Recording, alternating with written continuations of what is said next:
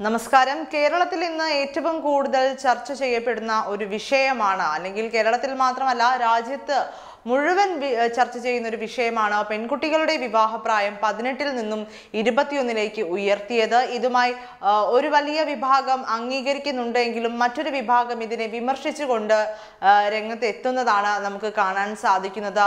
നടപടികളുമായി മുന്നോട്ട് പോവാൻ കേന്ദ്ര മന്ത്രിസഭ അംഗീകാരം നൽകിയ നടപടിയെ വിമർശിച്ചുകൊണ്ട് ഇപ്പോൾ രംഗത്ത് എത്തുന്നത് സി പി ഐ എം സംസ്ഥാന സെക്രട്ടറി കോടിയേരി ബാലകൃഷ്ണനാണ്.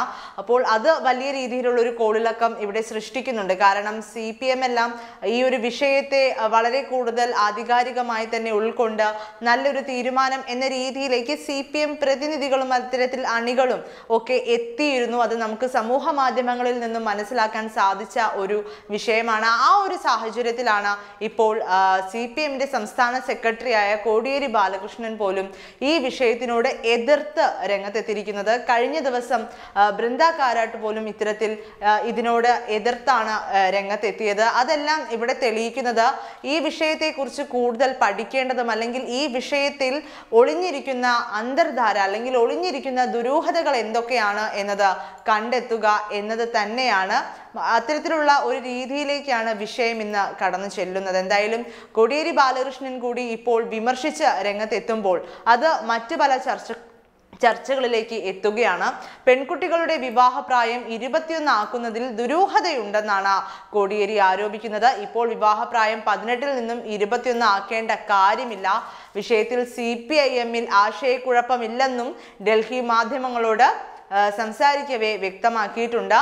പെൺകുട്ടികളുടെ വിവാഹപ്രായം ഉയർത്തിയതിൽ വിമർശനവുമായി അഖിലേന്ത്യാ ജനാധിപത്യ മഹിളാ അസോസിയേഷനിലെ അസോസിയേഷനും കഴിഞ്ഞ ദിവസം രംഗത്തെത്തിയിരുന്നു.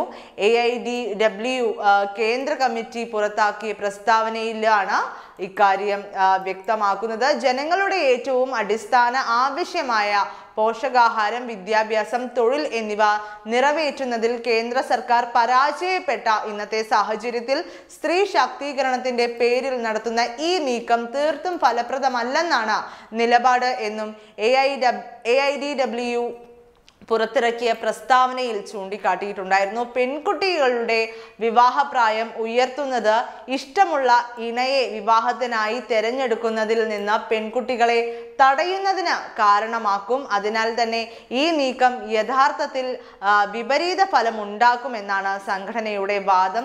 ഇഷ്ടപ്പെട്ട വ്യക്തിയെ വിവാഹം ചെയ്യുക എന്നത് തന്നെ സമൂഹത്തിൽ ഒരു പെൺകുട്ടിയെ സംബന്ധിച്ചിടത്തോളം വലിയ വെല്ലുവിളിയാണ്.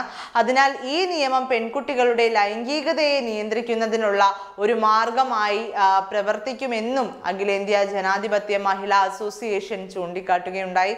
ഈ സാഹചര്യത്തിൽ പെൺകുട്ടികളുടെ വിവാഹപ്രായം ഇരുപത്തിയൊന്നാക്കാനുള്ള ഈ നീക്കം സർക്കാർ പിൻവലിക്കണമെന്നും ആണ് അഖിലേന്ത്യാ ജനാധിപത്യ മഹിളാ അസോസിയേഷന്റെ ആവശ്യം.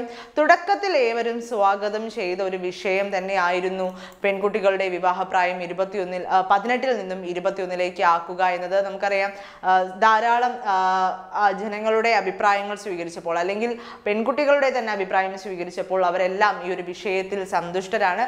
വളരെ ഒരു ഒരു ശതമാനം സ്ത്രീകൾ മാത്രമായിരുന്നു പതിനെട്ട് പതിനെട്ട് വയസ്സിൽ തന്നെ വിവാഹം നൽകുക പതിനെട്ട് വയസ്സിൽ തന്നെ മതി എന്നുള്ളൊരു രീതിയിലേക്ക് എത്തിയത് മാത്രവുമല്ല ഒരു കൂടുതൽ കൂടുതൽ ചർച്ചകളിലേക്ക് ഇന്നിപ്പോൾ ഈ വിഷയം വ്യതിചലിച്ചു കൊണ്ടിരിക്കുകയാണ് എന്ന് വേണം പറയാൻ. മുസ്ലിം ലീഗ് എല്ലാം വിഷയത്തിൽ വലിയ രീതിയിലുള്ള വിമർശനമാണ് മുന്നോട്ട് വെച്ചത്. പ്രമേയം പോലും അവർ നൽകിയിട്ടുണ്ട്.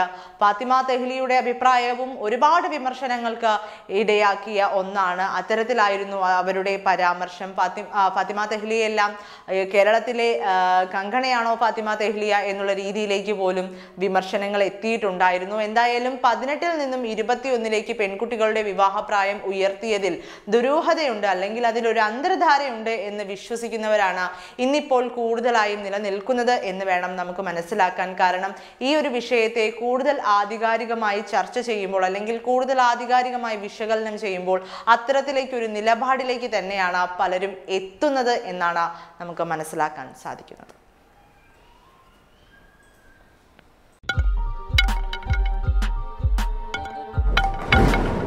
Like and subscribe to channel